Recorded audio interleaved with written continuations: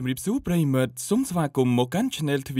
24ថ្ងៃនេះខ្ញុំសូមលើកយករឿងមួយដែលមានចំណងជើងថា Legendary Lighter ដែលជាខ្សែភាពយន្តរបស់កូរ៉េដែលនិយាយអំពីបរិសម្នាក់ដែលជាអតីតមេម៉ាហ្វៀដ៏មានឥទ្ធិពលនិងមិនចេះខ្លាចនរណាម្នាក់ឡើយប៉ុន្តែជីវិតរបស់គាត់បានផ្លាស់ប្ដូរមកក្លាយជាមនុស្សល្អនិងមិនបានខ្វាយខ្វល់អំពីរឿង gangster អីទៀតនោះទេប៉ុន្តែបែរជាត្រូវក្មេងទំនើងមកចង់ធ្វើបាបទាំងពួកគេមិនស្គាល់ប្រវត្តិរបស់គាត់ថាជានរណានោះទេដូច្នេះដើម្បីកុំឲ្យខាតពេលយូរចូលមកដល់សាច់រឿងរបស់យើងតែម្ដងទៅក្រឡុកឈ្នះក្រឡុកឈ្នះពីមនីខាក្លោកក្នុងកម្មវិធី Camp ID ផ្ដើមដំបូងនៃសាច់រឿងចេញពីបងធំម្នាក់ដែលបានបើកឆាកប្រយុទ្ធជាមួយនឹងមនុស្សជាច្រើនមានគ្នាប្រមាណទៅដល់ជិត30នាក់ឯណោះប៉ុន្តែគាត់គឺមានគ្នាតែម្នាក់ឯងនោះទេគាត់ត្រូវបានដាក់រហស្សនាមថាមនុស្សកណ្ដាប់ដៃដែកដៃដែករបស់គាត់ទាំងពីរហ្នឹងគឺបានក្តាប់ដៃកេះយ៉ាងណែនហើយបានប្រយុទ្ធជាមួយនឹងក្រុមម៉ាហ្វៀទាំងនោះដែលវាគឺជារឿងអតីតប៉ុណ្ណោះដែលប្រុសពីរនាក់បាននិយាយពីដំណើរដើមរឿងនៃមេម៉ាហ្វៀម្នាក់នេះប៉ុន្តែគេត្រូវបានបាត់ខ្លួនសូនឈឹងហើយមិនដឹងថាគេទៅរស់នៅទីណានោះទេហើយគេគឺជាអ្នកប្រយុទ្ធលំដាប់លេខ2ពួកគេទាំងពីរនាក់បានជជែកគ្នាមួយសន្ទុះហើយបាននិយាយដោយឆ្ងល់ថាតើបងធំម្នាក់នោះគឺគេទៅរស់នៅទីណាណោះហេតុអ្វីក៏បាត់ស្មាល់សូនជឹងចឹងព្រោះថាគាត់ពិតជាមានថ្វីដៃពូកែខ្លាំងណាស់ដោយបរិម្នាក់នោះបាននិយាយថាហើយយើងពិតជាមិនដែលឃើញមុខមាត់របស់គេសោះថាគេមុខមាត់បែបណានោះទេមិត្តភ័ក្តិរបស់គេក៏បាននិយាយថាហេមុខមាត់ដូចតែយើងដែរហ្នឹងភ្លាមនោះក៏មានបរិម្នាក់ដែលជាអ្នកបម្រើការនៅក្នុងហាងនោះក៏បានដើរមកកាត់ចង្វាក់ពួកគេដែលគេនេះហើយគឺជាជាងខ្លាំងលំដាប់លេខ2នោះប៉ុន្តែអ្នកទាំងពីរមិនបានដឹងថាគេគឺជាបរិម្នាក់នោះឡើយហើយក៏បានធ្វើអ្នកទាំងពីរនោះបាននិយាយទៅកាន់គេថាហេអូនហើយដើរមកអេពេលបងកំពុងនិយាយគ្នាហ្នឹងព្រោះថាពួកគេទាំងពីរនាក់នេះក៏ជាមេម៉ាហ្វៀដែរប៉ុន្តែគ្រាន់តែចំនួនក្រោយហើយក៏បានធ្វើទូឲ្យប្រុសរបស់យើងខឹងនឹងអ្នកទាំងពីរនាក់នោះខ្លាំងណាស់ប៉ុន្តែក៏ត្រូវបានថកែរបស់គាត់គឺមកស្រួលវិញហើយក៏បានហៅគាត់មកនិយាយនិងប្រាប់ថាគឺកុំឲ្យមានរឿងអីព្រោះថាពួកយើងឥឡូវគឺបានកែប្រែខ្លួនហើយហើយបរិះដែលជាថកែហាងនេះគាត់ជាជើងខ្លាំងលេខ1នៅក្នុងក្រុមម៉ាហ្វៀតែម្ដងគ្មាននរណាអាចវាយយកឈ្នះគាត់បាននោះទេហើយគាត់ក៏បានប្រាប់ទៅទូឲ្យប្រុសរបស់យើងថាឯងត្រូវតែរៀនស្មរាប់ចិត្តនិងមិនត្រូវឆេះឆាវនោះឡើយហើយទូឲ្យប្រុសរបស់យើងគឺគោរពបងធំម្នាក់នេះខ្លាំងណាស់ព្រោះថាគាត់គឺជាបងធំដ៏ល្អរបស់តួឯកប្រុសរបស់យើងដោយបងធំម្នាក់នោះរួមជាមួយនឹងតួឯកប្រុសរបស់យើងគឺមិនចង់ឲ្យនរណាម្នាក់បានដឹងពីប្រវត្តិនិងសាវតារបស់អ្នកទាំងពីរនោះឡើយនៅថ្ងៃស្អែកតួឯកប្រុសរបស់យើងបានស្លៀកសម្លៀកបំពាក់យ៉ាងសង្ហាដើម្បីទៅសម្ភាសនិងរកការងារធ្វើនៅក្នុងទីក្រុងនោះដែលជប់រលកជាមួយនឹងពិភពគុណទៀតហើយប៉ុន្តែក្រុមអ្នកសម្ភាសបានមើលមកប្រវត្តិរូបរបស់តួឯកប្រុសយើងគឺមិនសូវល្អនោះទេព្រោះថាគាត់ធ្លាប់ជាអតីតនៃក្រុមមេម៉ាហ្វៀដូច្នេះពួកគេមិនបានទទួលគាត់ឲ្យចូលធ្វើការនោះទេទោះបីជាគាត់បានកែខ្លួនធ្វើជាមនុស្សល្អក៏ដោយប៉ុន្តែប្រវត្តិរបស់គាត់នៅតែដកជាប់ក្នុងបញ្ជីខ្មៅហើយវាមិនងាយនឹងរកការងារធ្វើបាននោះឡើយគាត់ក៏បានត្រឡប់មកខាងវិញហើយនឹងធ្វើការងារជាអ្នករត់តុជាមួយនឹងបងធំរបស់គាត់ប៉ុន្តែក៏មានភ្ញៀវពីរនាក់បានសាយទៅកាន់ថកែនោះថាអេម្ចាស់ហាងសេវាកម្មរបស់លោកដូចជាមិនសូវល្អសោះឮដូចនេះបានធ្វើឲ្យទូឲ្យប្រុសរបស់យើងគាត់ពិតជាខឹងខ្លាំងណាស់គាត់ក៏បានដើរសម្ដៅទៅកាន់អ្នកទាំងពីរនោះបំរុងនឹងវាយពួកគេតែម្ដងប៉ុន្តែក៏ត្រូវបងធំរបស់គាត់ខាត់ទន់ហើយបានប្រាប់ទៅកាន់ទូឲ្យប្រុសរបស់យើងថាកុំមកករឿងអីហើយពេលដែលពួកគេសម្រាប់នោះបងធំក៏បាននិយាយទៅកាន់ទូឲ្យប្រុសរបស់យើងថាពួកយើងមិនចង់ត្រឡប់ទៅអតីតដែលជាមេម៉ាហ្វៀទៀតនោះទេពួកយើងមករស់នៅក្នុង GP បែបនេះគឺស្រួលនិងសប្បាយចិត្តខ្លាំងណាស់គ្មានអ្នកណាមករករឿងនិងគ្មានអ្នកណាមកតាមសងសឹកនោះឡើយ GP បែបនេះវាពិតជាមានក្តីសុខខ្លាំងណាស់ហើយពេលចូលមកដល់ក្នុងហាងវិញបងធំរបស់គាត់ក៏បានឲ្យទូឲ្យប្រុសរបស់យើងសើចប៉ុន្តែមើលទៅការសើចរបស់គាត់គឺសើចតែបង្ខំតែម្ដងសើចដូចមិនចង់សើចអញ្ចឹងព្រោះបងធំរបស់គាត់បាននិយាយទៅកាន់ទូឲ្យប្រុសរបស់យើងថាបានហើយឯងជប់សើចទៅហើយយកក្រដាសនេះគឺទៅទិញម្ហូបនិងបន្លែនៅក្នុងផ្សារដើម្បីប្រញាប់យកមកលក់វិញហើយទូអាចប្រុសរបស់យើងក៏បានមកដល់ផ្សារនិងដើរទិញម្ហូបទៅតាមអ្វីដែលមាននៅក្នុងក្រដាសនោះហើយក៏បានជួបជាមួយនឹងនារីម្នាក់ដែលនាងគឺជាតួឯកនៅក្នុងរឿងនេះដែលនាងបានដើរទៅណាតួឯកប្រុសរបស់យើងគឺបានដើរតាមនាងដែលធ្វើនាងបានគិតថាតួឯកប្រុសរបស់យើងដូចជាមនុស្សរោគចិនចឹងគឺបានដើរតាមនាងក្នុងគោលបំណងមិនល្អប៉ុន្តែតាមពិតគឺគាត់ដើរទិញម្ហូបសោះហ្នឹងគ្រាន់តែបែបនេះនាងបានសន្និដ្ឋានទៅលើតួឯកប្រុសរបស់យើងបាត់ទៅហើយដោយបាននិយាយទៅកាន់គាត់ថាអេលោកហេតុអីក៏លោកដើរតាមខ្ញុំអញ្ចឹងបើសិនជាលោកនៅតែដើរតាមខ្ញុំទៀតខ្ញុំនឹងប្តឹងប៉ូលីសឲ្យចាប់លោកជាមិនខានធ្វើទូឲ្យប្រុសរបស់យើងគាត់ពិតជាមានការងឿងឆ្ងល់ខ្លាំងណាស់មិនដឹងថាគាត់បានធ្វើអ្វីទៅលើនារីម្នាក់នោះឡើយហេតុអ្វីបានជានាងនិយាយដាក់គាត់បែបនេះប៉ុន្តែគាត់មិនបានខ្វាយខ្វល់នោះទេគ្រាន់តែឆ្ងល់បន្តិចគេអត់ដឹងអីផងមកថាឲ្យគេយ៉ាប់ហ្មងហើយពេលដែលទូឲ្យប្រុសរបស់យើងបានដើរត្រឡប់មកផ្សារវិញគាត់ក៏បានជួបកាបូបហើយក៏បានជួបជាមួយនឹងក្មេងសិស្សសាលាម្នាក់ដែលគេក៏បានឃើញកាបូបនោះហើយក៏បានរើសឲ្យគាត់វិញដែលវាពិតជាគំរូល្អខ្លាំងណាស់ហើយពេលដែលទូឲ្យប្រុសរបស់យើងបានដើរមកដល់ហាងក៏មានក្មេងមីក្រុមបានញ៉ាំស្រាហើយមិនចង់ឲ្យលុយភ្លាមនោះតួឯកប្រុសរបស់យើងក៏ដើរបំរុងទៅវាយពួកគេប៉ុន្តែក៏ត្រូវបានបងធំរបស់គាត់ចាប់ជាប់និងមិនឲ្យគាត់មានបញ្ហាជាមួយនឹងក្មេងទាំងនោះឡើយដែលរឹតតែធ្វើឲ្យក្មេងទាំងនោះគឺបានចិត្តថែមទៀតប៉ុន្តែភ្លាមនោះក៏មានវងម៉ាប់ដែលជាមេម៉ាហ្វៀបានដើរចេញមកធ្វើពួកគេខ្លាចហើយពួកគេក៏បានរត់ចាក់ចេញទៅហើយបងម៉ាប់នេះគាត់គឺជាមួយប្រចាំនៅទីនេះតែម្ដងពេលចូលទៅដល់ហាងបងធំរបស់គាត់ក៏បាននិយាយទៅកាន់តួឯករបស់យើងថាហាងរបស់យើងពេលនេះគឺជួបបញ្ហាហើយគឺមានមេម៉ាហ្វៀមួយក្រុមគឺមិនឲ្យយើងបើកនៅទីនេះឡើយនៅពេលដែលបានដឹងដំណឹងនេះតួឯករបស់យើងក៏បានទៅជួបជាមួយនឹងមេម៉ាហ្វៀម្នាក់នោះប៉ុន្តែការនិយាយស្ដីរបស់គេគឺមិនសូវមានជីវធម៌នោះឡើយដោយគេបានដឹងថាតួឯករបស់យើងគឺជាអតីតមេម៉ាហ្វៀដូច្នេះហើយគេក៏បានហាងមកចរចានិយាយដោយស្រួលនិងមិនចង់មានការប្រយុទ្ធគ្នានោះទេដោយឲ្យតួឯករបស់យើងរើហាងរបស់គាត់ចេញប៉ុន្តែតួឯករបស់យើងក៏បានបដិសេធធ្វើឲ្យបងធំម្នាក់នោះគឺពិតជាខឹងខ្លាំងណាស់ហើយក៏បានបញ្ជាឲ្យកូនចៅរបស់គេទៅធ្វើរឿងអាក្រក់ទៅលើហាងរបស់តួឯកប្រុសយើងនិងបងធំរបស់គេដែលបងធំរបស់គាត់ក៏ត្រូវរបួសនិងត្រូវសម្រាប់ព្យាបាលនៅមន្ទីរពេទ្យប្រមាណជា3ទៅ4សប្តាហ៍ធ្វើឲ្យតួឯករបស់យើងនៅពេលដែលបានមកឃើញបែបនេះគាត់ពិតជាខឹងខ្លាំងណាស់ហើយក៏បានបំរុងទៅចាត់ការជាមួយនឹងក្រុមម៉ាហ្វៀទាំងនោះប៉ុន្តែក៏ត្រូវបងធំរបស់គាត់ចាប់ដៃជាប់ហើយបាននិយាយថា កុំទៅអី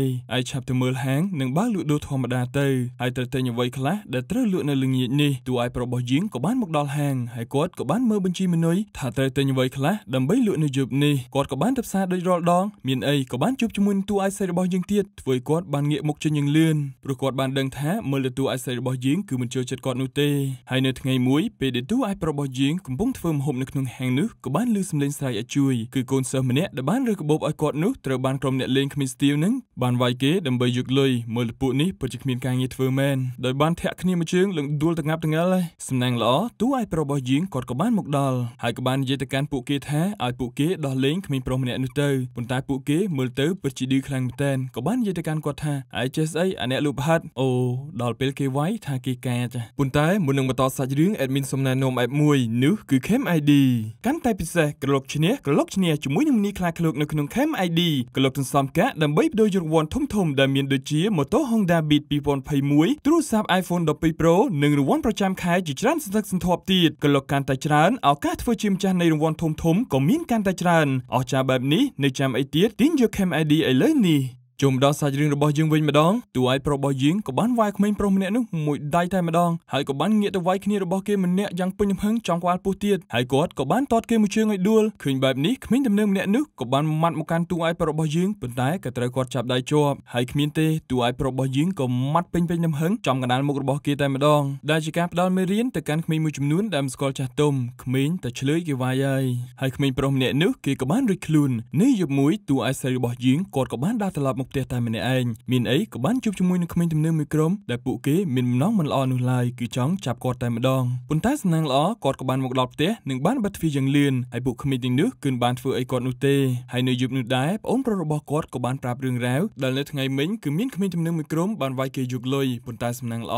គឺមានបរិសម្នាក់បានជួយគាត់លើដូចនេះធ្វើឲ្យបងស្រីរបស់គេគឺចង់ទៅអរគុណនិងចង់ជួបជាមួយនឹងបរិសម្នាក់ដែលបានជួយប្អូនរបស់គាត់ខ្លាំងណាស់ពួកគេក៏បានធ្វើដំណើរទៅទីនោះហើយពេលជួយទៅដល់ធ្វើមានការភ្ញាក់ផ្អើលយ៉ាងខ្លាំងគឺបរិសម្នាក់ដែលគាត់គិតថាគឺជាមនុស្សរោគចិត្តនឹងហើយហើយបានធ្វើឲ្យតួឯកប្រុសរបស់យើងក៏មានការភ្ញាក់ផ្អើលនោះដែរហេតុអ្វីបានជានាងមកទីនេះប៉ុន្តែពួកគេក៏មិនបានរំលឹកទៅលើរឿងនេះដែរហើយតួឯកប្រុសរបស់យើងក៏បានធ្វើអាហារយ៉ាងឆ្ងាញ់ឲ្យពួកគេញ៉ាំនៅយប់នោះទៀតផងហើយចាប់តាំងពីពេលនោះមកនាងហាក់បីដូចជាចាប់អារម្មណ៍ទៅលើតួឯកប្រុសរបស់យើងហើយរាល់យប់គឺនាងតែងតែមកញ៉ាំអាហារនៅទីនេះជាប្រចាំហើយមិនតែប៉ុណ្ណោះនាងក៏បានថតរូបនិងចង់ឲ្យតួឯកប្រុសរបស់យើងញញឹមប៉ុន្តែមើលទៅគាត់ទៅញញឹមដូចតែមុនចឹងគឺញញឹមនឹងស្ងួតតែម្ដងហើយនាងក៏បាននិយាយទៅកាន់គាត់ថាលោកត្រូវតែរក្សាភាពញញឹមបែបនេះជារៀងរហូតឬទេដែលមើលទៅពួកគេទាំងពីរនាក់ចាប់ផ្ដើមមានក្តីស្រឡាញ់ជាមួយនឹងគ្នាបន្តិចម្ដងបន្តិចម្ដងហើយនៅថ្ងៃស្អែកគ្មានដំណើរមួយក្រុមដែលត្រូវបានតួឯកប្រុសរបស់យើងវាយនោះគេក៏បានហៅគ្នាគេមកបន្ថែមដើម្បីចាត់ការជាមួយនឹងតួឯកប្រុសរបស់យើងពួកគេក៏បានណាត់គ្នាប្រយុទ្ធនៅក្រោមស្ពានមួយកន្លែងតួឯកប្រុសរបស់យើងក៏បាននិយាយទៅកាន់គេថាបើសិនជាពួកឯងមិនចង់ឈឺសាច់ពួកឯងឆាប់ត្រឡប់ទៅវិញទៅប៉ុន្តែពួកគេបានសើចនិងនិយាយទៅកាន់តួឯកប្រុសរបស់យើងថាឯងប្រកាសចង់ត្រូវហើយគេក៏បានទាញដំបងមួយហើយបានវាយសម្ដៅទៅកាន់គាត់ប៉ុន្តែមានអីក៏ត្រូវគាត់ចាប់ជាប់ហើយរៀបនឹងវាយទៅកាន់បរិសម្នាក់នោះហើយគាត់ក៏បាននឹកឃើញថាគាត់មិនចង់បន្តបញ្ហាជាមួយនឹងពួកទាំងនេះទៀតនោះទេមានអីគាត់ក៏បានឲ្យពួកគេវាយតាមចិត្តតែម្ដងហើយមើលទៅពួកគេពិតជាបានដៃខ្លាំងណាស់គឺវាយទូឯប្រុសរបស់យើងគឺមិនដល់ដៃនោះទេហើយថែមទាំងបាននិយាយឌីដងទៅកាន់ទូឯប្រុសរបស់យើងទៀតប៉ុន្តែពួកគេមិនទាន់ស្គាល់ថាមេឃធំប៉ុណ្ណានោះទេនៅយប់មួយគាត់បានមកលក់ធម្មតាភ្លាមនោះទូឯស្រីរបស់យើងក៏បានដើរជុំមកដល់ប៉ុន្តែនាងពិតជាមានការភ្ញាក់ផ្អើលខ្លាំងណាស់ដោយសារតែនាងបានឃើញស្នាមរបួសនៅមុខរបស់គាត់ស្របពេលដែលពួកក្មេងទំនើងទាំងនោះក៏បានមកដល់ទីនេះដើម្បីមកទារថ្លៃការពារពីគាត់ធ្វើដូចលុយរបស់ពួកគេគឺទុកនៅទីនេះចឹងអាក្មេងទំនើងដែលទូឲ្យរបស់យីងគាត់ក៏មិនចង់មានបញ្ហាអីនោះដែរគាត់ក៏បានឲ្យនាងទៅផ្ទះមុនហើយក៏បានឲ្យប្រាក់មួយចំនួនទៅកាន់ក្មេងទំនើងទាំងនោះដើម្បីបញ្ចប់រឿងព្រោះគាត់ខ្ជិលមានបញ្ហាច្រើនហើយពួកគេឃើញទូឲ្យស្រីរបស់យើងស្អាតពួកគេក៏មានបំណងចាប់នាងធ្វើទូឲ្យរបស់យើងបានដឹងនៅគម្រោងការរបស់គេដោយនៅយប់នោះពួកគេក៏បានចាប់នាងឡើងលើឡានដើម្បីលេងបិទពួនជាមួយគ្នាប៉ុន្តែមានអីទូឲ្យរបស់យើងក៏បានមាត់កញ្ចក់មួយដៃយ៉ាងពេញចំហឹងធ្វើបែកហើយក៏បានវាយពួកគេនៅទីនោះដោយទូឲ្យរបស់យើងបានវាយក្មេងទំនើងទាំងនោះគឺមិនសំចៃដៃនោះឡើយឃើញដូចនេះទូឲ្យស្រីរបស់យើងក៏បានហាមឃាត់គាត់ថាបានហើយឈប់ទៅឈប់ទៅបើមិនដូច្នេះទេគាត់ប្រកាសជាវាយពួកគេស្លាប់ជាមិនខានហើយនៅយប់នោះនាងក៏បាននាំទូឲ្យរបស់យើងមកផ្ទះដើម្បីលាងមុខរបួសរបស់គាត់ប៉ុន្តែមិនយូរប៉ុន្មានពួកគេក៏បង្កើតភាពផ្អែមល្ហែមជាមួយគ្នាតែម្ដងហើយមិនតែប៉ុណ្ណោះពួកគេទាំងពីរនាក់ក៏បានលេងបិទពួនជាមួយនឹងគ្នាទៀតផងនៅថ្ងៃស្អែកកូនចៅរបស់ពួកមេម៉ាហ្វៀនោះក៏បានមកប្រាប់មេរបស់គេអំពីរឿងដែលទូឲ្យរបស់យើងបានវាយគេកាលពីយប់មិញឮដូចនេះពួកគេពិតជាហឹងខ្លាំងណាស់គេក៏បានយករំបងនឹងរបស់របរដើម្បីទៅចាត់ការជាមួយនឹងទូឲ្យរបស់យើងប៉ុន្តែពេលទៅដល់ក៏បានឃើញទូឲ្យរបស់យើងបានដើរចេញជាមួយនឹងបរិះពាក់អាវខ្មៅពីរនាក់ដែលពួកគេគឺជាសមាជិកនៃក្រុមម៉ាហ្វៀធំដែលនៅក្នុងតំបន់នេះហើយតាមពិតពួកគេគឺជាអតីតកូនចៅនៃទូឲ្យរបស់យើងនោះទេប៉ុន្តែពេលនេះគឺមិនមែននោះឡើយ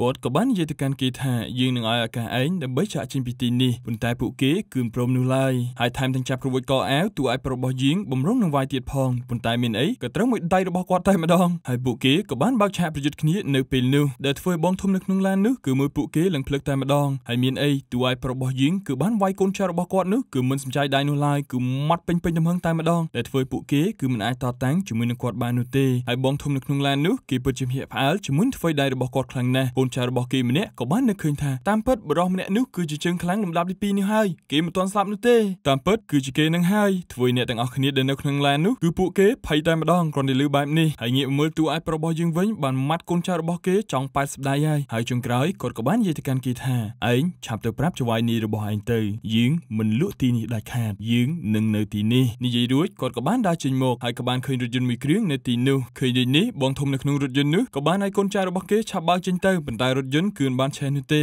ព្រោះពួកគេពិតជាភ័យខ្លាំងណាស់ទូឲ្យរបស់យើងបានដើរមកដល់ហើយក៏បានសួរទៅកាន់ពួកគេថាវត្តចាំខែជាច្រើនសន្ធឹកសន្ធាប់ទៀតត្រឡប់កាន់តែច្រើនមានឱកាសធ្វើជាម្ចាស់នៃរង្វាន់ធំក៏មានកាន់តែច្រើន តើពួកឯងមកទីនេះធ្វើអីធ្វើឲ្យពួកគេទាំងនោះពិតជាភ័យខ្លាំងណាស់ដែលបាននិយាយទាំងភ័យនឹងរដេបដប់ថាខ្ញុំខ្ញុំមកទីនេះគឺគឺទិញស៊ុបគាត់ក៏បានតបទៅវិញថាថ្មនឹងគឺអត់ទាន់មានស៊ុបទេលីដូចនេះគេក៏បាននិយាយទៀតថាពេលពេលស៊ុបឆ្អិនខ្ញុំខ្ញុំទិញពីរឆ្នាំងហើយខ្ញុំត្រឡប់ទៅវិញហ្មងហើយនៅថ្ងៃស្អែកពួកគេទាំង3នាក់ក៏បានមកគោរពទូឯករបស់យើងដើម្បីឲ្យគាត់ធ្វើជាបងធំរបស់ពួកគេព្រោះថាពេលនេះពួកគេបានដឹងពីសមាជភាពរបស់គាត់ហើយហើយកាត់ជើងមកដល់មេម៉ាហ្វៀចិត្តអាក្រក់នេះវិញម្ដងគេក៏បានបញ្ជាឲ្យកូនចៅរបស់គេធ្វើយ៉ាងណាគឺចាត់ការទូអាយរបស់យើងឲ្យបានដោយនៅយប់មួយកូនចៅរបស់មេម៉ាហ្វីនោះក៏បានមកស៊ើបថាទូអាយរបស់យើងគឺមានទំនាក់ទំនងស្នេហាជាមួយនឹងនារីម្នាក់ពួកគេក៏បានថតរូបនាងដើម្បីយកព័ត៌មាននេះទៅប្រាប់មេរបស់គេហើយនៅក្នុងហាងពេលនេះទូអាយរបស់យើងគឺមិនន័យហត់ទៀតនោះទេព្រោះថាបានកូនចៅរបស់គាត់ដល់3នាក់ឯណោះប៉ុន្តែគាត់ក៏បានសង្ស័យទៅលើបរិះពីរនាក់ដែលមកអង្គុយញ៉ាំអីនៅទីនេះព្រោះថាមើលទៅពួកគេមិនមែនជាអតិថិជនធម្មតានោះឡើយនៅយប់នោះទូអាយរបស់យើងក៏បានជូននាងទៅផ្ទះដូចធម្មតាប៉ុន្តែដោយសារតែមានអតិថិជនច្រើននៅក្នុងហាងនាងបានប្រាប់ថាមិនអីនោះទេគឺនាងអាចទៅផ្ទះខ្លួនឯងបានប៉ុន្តែភ្លាមនេះទូរស័ព្ទរបស់ទូឯប្រុសយើងក៏មានការខលជលគឺបានប្រាប់ថាសង្សាររបស់ឯងគឺត្រូវបានចាប់ខ្លួនហើយគាត់ក៏បានដឹងជាច្បាស់ថាបុរសពីរនាក់ដែលមកញ៉ាំអីនៅទីនេះគឺពួកគេជាអ្នកធ្វើរឿងនេះគាត់ក៏បានដើរទៅកន្លែងណាត់ជួបប៉ុន្តែក៏មានក្មេងទំនើងមួយក្រុមបានដើរមកប្រយុទ្ធជាមួយនឹងគាត់ហើយទូឯប្រុសរបស់យើងក៏មិនទុកពួកគេនោះដែរគឺវាយពួកគេឡើងដួលរៀបពេញនឹងតែម្ដងហើយជើងក្រោយបុរសម្នាក់ដែលពេលអសរនោះគឺទូឯប្រុសរបស់យើងវាយគេចិត្តប៉ែតសម្ដាយតែម្ដងព្រោះថាខឹងនឹងគេដែលមកបង្អានដំណើររបស់គាត់តួឯប្រុសរបស់យីងគាត់ក៏បានមកដល់ផ្ទះហើយក៏បានស្លៀកសម្លៀកបំពាក់ដែលជាឈុតប្រយុទ្ធរបស់គាត់ហើយថែមទាំងមានដេកេ2នៅក្នុងដៃរបស់គាត់ទៀតផងដែលអតីតរបស់គាត់គឺពិតជាមិនធម្មតានោះទេហើយងាកទៅមើលបងធំម្នាក់នេះវិញគឺពិតជាខឹងខ្លាំងណាស់ដែលមិនទាន់ឃើញតួឯប្រុសរបស់យើងដើរមកប៉ុន្តែភ្លាមនោះគាត់ក៏បានដើរមកដល់តែម្ដងដែលមានប៉ពួករបស់គេជាច្រើនបានមកស្វាគមន៍តួឯប្រុសរបស់យើងហើយមិនរងចាំយូរនោះទេពួកគេក៏បានបើកឆាកប្រយុទ្ធគ្នាតែម្ដងនៅពេលនោះតួឯប្រុសរបស់យើងគាត់នៅតែមានធ្វើដៃពូកែដដែលដោយបានវាយទៅវិញទៅមកជាមួយនឹងមនុស្សទាំងនោះប៉ុន្តែចុងក្រោយគាត់មិនអាចតតាំងជាមួយនឹងពួកគេបាននោះឡើយនៅយប់នោះថៅកែហាងក៏បានមកដល់ប៉ុន្តែមិនឃើញតួឯករបស់យើងនោះទេដោយគាត់បានដឹងថាតួឯករបស់យើងប្រកាសជាទៅប្រយុទ្ធជាមួយនឹងពួកទាំងនោះជាមិនខានគាត់ក៏បានមកដល់ទីនេះហើយក៏បានសាយទៅកាន់មនុស្សដែលនៅទីនោះថាបើសិនជាអ្នកណាមិនចង់ស្លាប់ពួកឯងឆាប់ចាក់ចេញពីទីនេះទៅហើយគ្មានទេគឺគាត់បានដើរទៅវាយពួកនោះម៉ាត់ពេញពេញដៃតែម្ដងដោយលើកនេះគឺពួកឯងជួបគីឡូធ្ងន់ហើយហើយតួឯករបស់យើងក៏បានដើររកសង្សាររបស់គាត់ប៉ុន្តែក៏បានមកជួបជាមួយនឹងគីឡូធ្ងន់ម្នាក់ដែរដែលគេបានវាយតួឯករបស់យើងគឺមិនសំចៃដៃនោះទេព្រោះថាគាត់ពេលនេះគឺមានរបួសផងក៏ត្រូវបានបរិះម្នាក់នោះវាយតួឯករបស់យើងគឺដួលថ្ងាប់ថ្ងល់ពេញនឹងតែម្ដងឃើញដូចនេះគេក៏បានរត់ទៅទាត់តួឯករបស់យើងប៉ុន្តែមានអីក៏ត្រូវបានគាត់ម៉ាត់ខ្មងជើងរបស់គេធ្វើគេមានរបួសហើយតួឯករបស់យើងក៏បានម៉ាត់គេពេញពេញនឹងហឹងតែម្ដងហើយចុងក្រោយគាត់ក៏បានក្រោះសេគេមួយដៃប៉ាក់ធ្វើគេនោះសន្លប់ឈឹងតែម្ដងហើយមិនអាចមកតតាំងជាមួយនឹងគាត់បាននោះទេហើយគាត់ក៏បានដើរទៅរកសង្សាររបស់គាត់ប៉ុន្តែមានអីក៏ត្រូវបងធំម្នាក់នោះបានយកកំបិតបំរុងចាក់គាត់ប៉ុន្តែក៏ត្រូវគាត់ចាប់ជាប់ហើយមានអីក៏ត្រូវតួឯករបស់យើងបានយកដង្កេះនៅក្នុងដៃនឹងញាត់ទៅមាត់របស់គេហើយម៉ាត់បងធំម្នាក់នោះជាច្រើនដៃធ្វើគេនៅពេលនោះសឹងតែប៊ីស្លាប់ប៊ីរੂហើយនៅមិននៅយកជាប់ភ្នៅបៀតឃ្លីអេឲ្យរៀងថ្ងៃក្រោយគាត់ក៏បានជួយសង្សាររបស់គាត់បានសម្រេចហើយមើលទៅពួកគេពិតជាសប្បាយចិត្តខ្លាំងណាស់ហើយពួកគេក៏បានចាកចេញពីទីនោះហេតុអ្វីក៏ជួយចិត្តមើលមនុស្សតែសម្បកក្រៅម្លេះពេលខ្លះសុំគុំមកខំនរណាម្នាក់ឲ្យគេធ្វើរឿងនៅអ្វីដែលគេមិនចង់ធ្វើអីវាអាចនឹងធ្វើឲ្យអ្នកខកចិត្តជាមិនខានរឿងក៏ត្រូវបានចប់ត្រឹមនេះសូមអរគុណចំពោះប្រិមិត្តដែលចំណាយពេលវេលាតាមដានតាំងពីដើមរហូតដល់ចប់និងសូមអភ័យទោសរាល់មកឆ្គងត្រង់ណាដែលអចេតនានិងសូមជូនពរឲ្យប្រិមិត្តនិងក្រុមគ្រួសារជួបប្រទះតែនឹងសេចក្តីសុខសេចក្តីចម្រើននិងសូមកុំភ្លេចជួយចុច Subscribe និងដាក់សញ្ញាកណ្ដឹងដើម្បីទទួលបានវីដេអូថ្មីៗសូមអរគុណសូមជម្រាបលា